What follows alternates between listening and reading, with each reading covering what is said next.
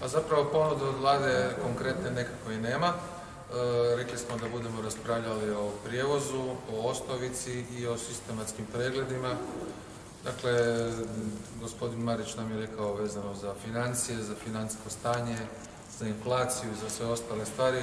Mi smo zadovoljni zapravo ponudom vlade. E, mi razumijemo situaciju, ali isto tako i vi morate shvatiti, svi ostali moraju shvatiti da porast siromaštva je jednako porast i kriminaliteta.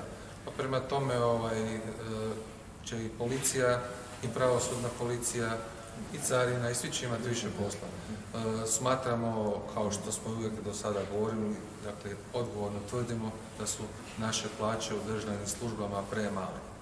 Pa gledajte, e, jesmo, tražili smo i radi se jednostavno o tome, zato sam i rekao na početku da nismo zadovoljni sa ponudom vlade, tražili smo 8% i ako mogu dobiti javne službe, naravno da ćemo i mi dobiti. Tako. E, smatramo zbog specifičnosti posla i javnih i državnih službi da moramo ipak biti, kao što smo uvijek govorili i kao što govorimo, kao što ćemo govoriti, biti bolje plaćati tog mjeseca kad vidimo kako će se kretati makroekonomska situacija u zemlji, razgovarati o tome.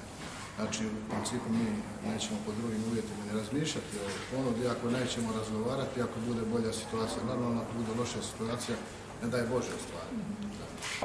Pa gledaj, znači, produljena primjena traje kako ste rekli, ali postoje rješenja, ako ne dogovorimo se, da vlada produži taj proces onaj, svojvoljno, bez prisile.